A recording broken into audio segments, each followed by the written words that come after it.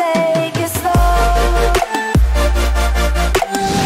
Gasten, Gamebozy, welkom bij een nieuwe Clash of Clans video. Ik had een paar dagen geleden een video gemaakt dat ik mijn town hall had zeg maar upgegrade. En ik had gezegd als die video veel ja, positieve reacties zou krijgen en gewoon redelijk wat likes dat ik zeg maar deze aanbieding zou kopen van 22 euro. En de video had meer dan 2000 likes en behoorlijk veel reacties. Dus ik dacht weet je, ik ga deze aanbieding gewoon kopen speciaal voor jullie. Want ik heb nu ook al een nieuwe base gemaakt die gebaseerd is op Town Hall 10. Dus dat is super chill. Er missen alleen nog wat dingen. Zoals jullie hier in het midden zien. Er moet nog een X-boog bij komen. En er moeten nog twee Inferno torens bij komen. En dan is mijn base eigenlijk al compleet. Maar het enige nadeel is, is dan dat ik hier en daar bijvoorbeeld wat muurtjes verder moet upgraden. Bijvoorbeeld deze muurtjes zijn nog maar level 4. Terwijl deze allemaal al level 9 zijn. Maar ja, in de loop van de tijd kan ik die natuurlijk wel upgraden. En trouwens, al mijn uh, mannetjes zijn op dit moment bezig met dingen aan het upgraden. Dat is best wel ziek eigenlijk.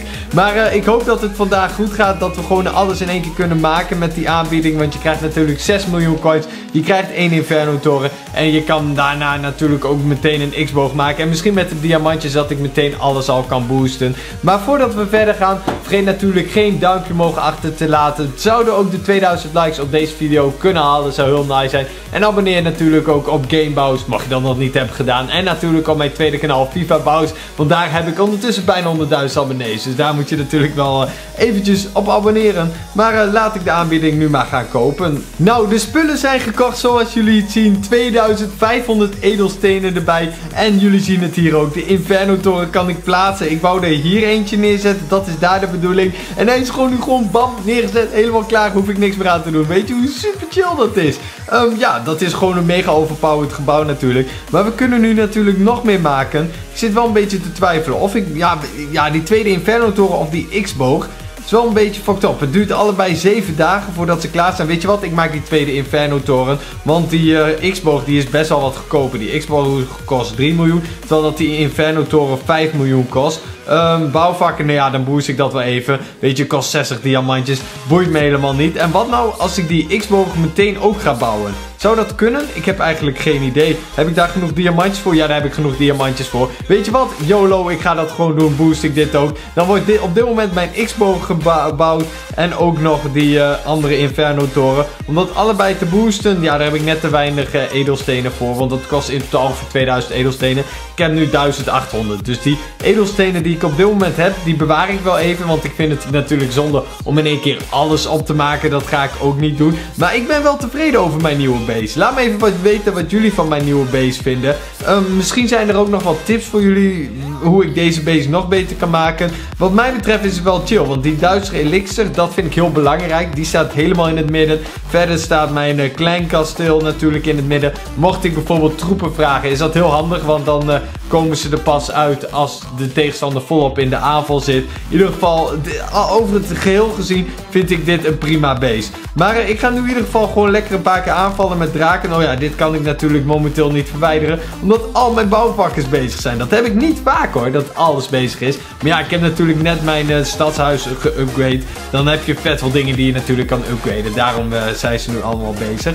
Maar laten we maar een keertje aanvallen. Ik wil in ieder geval twee sterren halen. Want dan krijg ik weer extra bonus. Maar ik zorg er even voor dat ik wat meer draken klaar heb staan. Um, ja, dan gaan we nu gewoon lekker aanvallen. Dus bij twee sterren hoeveel bonus krijgen we dan? We krijgen 140.000 van beide bonus. Dus dat moet best wel te doen zijn. Oh, ik heb momenteel helemaal geen goud natuurlijk. Oh, al mijn goud is op. Dus als ik wil aanvallen, heb ik wel wat goud nodig. Wat nou als ik hier even wat goud koop? Uh, ja, dat kost 500 edelstenen. Dat is wel heel veel als ik eerlijk ben. Um, dit is wel een beetje fucked up. Want als ik dan ga aanvallen en stel me gauw... Ja, als ik nu verzamel, oh, dan heb ik nu 3000. Oké, dan kan ik drie keer opzoeken. Oh, Oké, nou, eerste tegenstander valt al meteen af. Die heeft echt een veel te goede base. Nou ja, dan kunnen we nu nog twee keer zoeken. Uh, Oké, okay. dit gaat er door. Ik waag de gok. Ik ga nog een keer zoeken, alsjeblieft, alsjeblieft. Anders moet ik betalen met edelstenen. Oké, dit... Dit gaat ermee door. Hij heeft van beide over de 300.000. En het is ook nog wel een base waar ik eventueel heel veel procent op kan halen. In ieder geval, daar ga ik vanuit.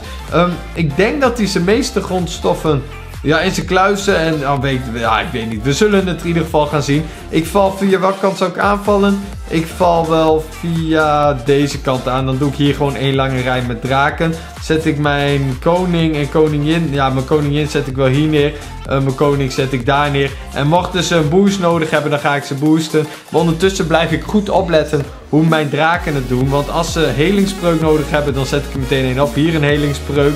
Dan overleven ze daar wat langer. Weet je, als die vuurwerk in het middenmaat kapot is, dat is het belangrijkste. Um, waar zal ik nog meer een helingspreuk doen? Ik wacht nog heel eventjes. Ik boost ondertussen trouwens even mijn prinses. Um, ik zet hier nog wel een helingspreuk neer. Overleven ze daar ook nog wat langer. Ik heb nu nog twee helingspreuken over. En mijn koning, die ga ik ondertussen ook wel even boosten. En daarboven doen mijn draken daar een beetje goed. Ja, dat gaat daar prima. Um, ik moet vooral hier even, denk ik, uh, mijn helingspreuk in de gaten houden. Um, ik doe... Wat zou ik doen? Dit is wel een beetje lastig. Ik zit hier in helingspreuk. Dan hoop ik dat ik alles daar in het midden kan boosten. En nice, oké. Ik heb in ieder geval de twee sterren nu bijna, bijna. Ja, inderdaad. Oké, dan heb ik sowieso die 140.000 bonus van beide. En ik heb ondertussen ook al ziek veel buit gemaakt. Dus dat is wel echt chill. Ik doe hier mijn laatste helingspreuk om die draak in het midden nog een beetje beter te maken. En dan hoop ik dat ze die laatste vuurwerk nu even kapot kunnen maken. Want als dat gebeurt, ga ik denk ik wel 100% halen. En dat gebeurt ook. Oké, easy. Uiteindelijk best wel makkelijk 100%.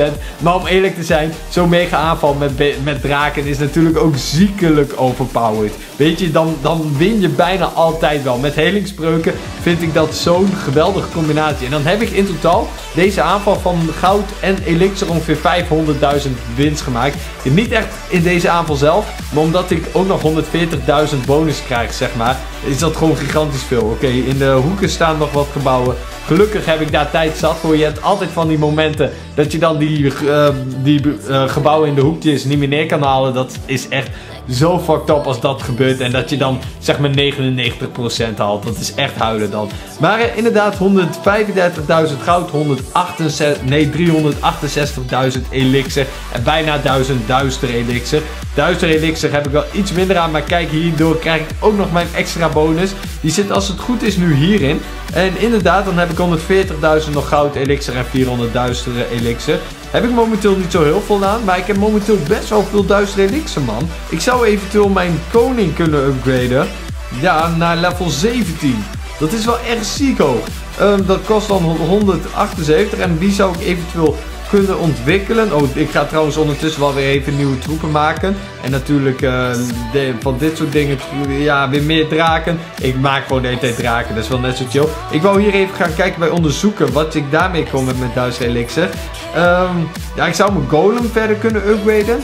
Maar dat is een beetje twijfelgeval, want ik gebruik hem heel veel. Ja, ik denk dat ik gewoon ga sparen voor mijn koning. En ja, nou, ik weet niet. Ik denk dat ik gewoon nog heel eventjes wacht en dat ik dan binnenkort mijn koning ga upgraden met mijn duistere elixir. Dat is dan wel echt ziekelijk overpowered. Daar heb ik er nog maar 2000 voor nodig. Ik ga het nu niet betalen met diamantjes, want het probleem is dan dat ik daarna ook een van mijn uh, bouwvakkers weer moet, uh, zeg maar, boosten. Dan ben ik weer uh, eh, 100 diamantjes extra kwijt. Dus dan gaat het daar heel snel op. En ik wil ze eigenlijk nog wel een beetje bewaren. Ook voor mijn andere basis. Natuurlijk hier, oh, ik kan mijn kloktoren even boosten, doe ik dat. Want dit gaat hier ook super lekker. Want ik sta momenteel hier in de, zeg maar, bouwbasis sta ik in Nederland. Hoeveel sta ik? 58ste. Maar ik ben weer ietsjes omlaag gegaan. Ik stond echt laatst 20ste of zo. Maar daar, ja, daar, ja, af en toe verlies je dan weer wat. Maar het gaat de laatste tijd echt goed met deze beest. Dus dat is super chill. Het ene, ja, ik heb nu alleen veel te veel elixir. En die nachthex, ja, die is over 7 uur klaar. Dan ga ik daar wel weer een video over maken. Over die nachthex. Want ik denk dat die op level 14 best wel chill is. En dan heb ik al vier troepen op maximaal level. Weet je hoe ziekelijk overpowered dat is? Dat is wel echt nice hoor. Maar deze video gaat natuurlijk niet over de bouwbasis. Dus we gaan gewoon snel terug. Ik wil nog even één laatste aanval doen. Dan moet ik even mijn draken boosten. Dan doe ik wel een aanval met alleen draken. Geen koning of koningin. Uh, 46 diamantjes kost trouwens best wel veel. Maar dan heb ik nu 11 draken. En volgens mij heb ik ook nog wat uh, helingspreuken. Maar dan gaan we nu gewoon even op zoek naar een tegenstander die niet heel goed is. En die, oh, we hebben maar één helingspreuk.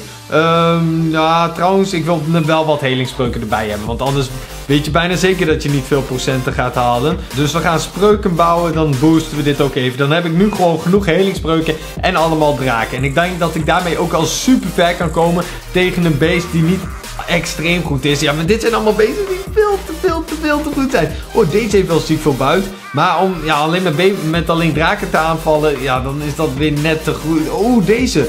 400.000 goud heeft hij. Oeh, ja, zou ik het proberen?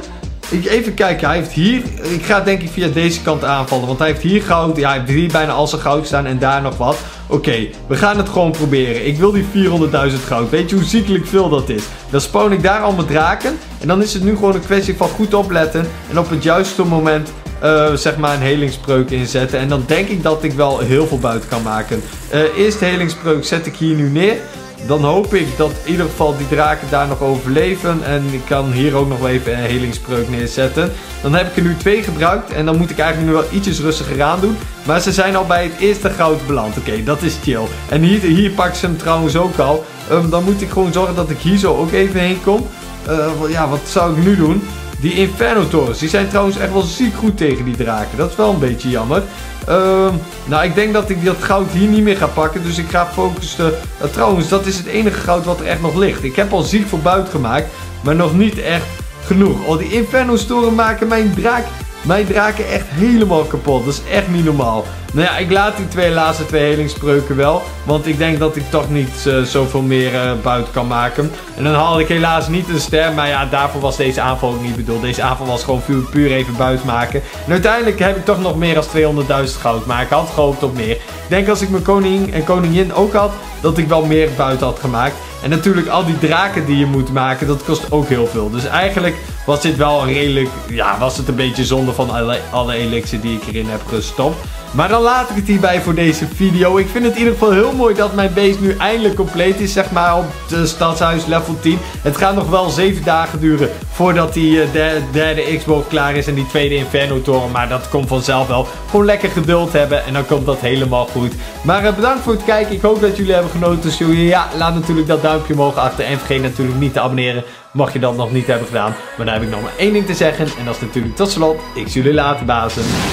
Bedankt voor het kijken naar deze video. Als je dit filmpje leuk vond, dan vind je dit filmpje wat hier staat ook wel leuk. Waarschijnlijk, hoogwaarschijnlijk. Dan kan je daar nu nog op klikken. En mocht je nog niet geabonneerd zijn, dat kan je dan hier doen. Dan kan je daarop drukken en dan kan je abonneren. En dan word je natuurlijk lid van de Boos Army. Yeah!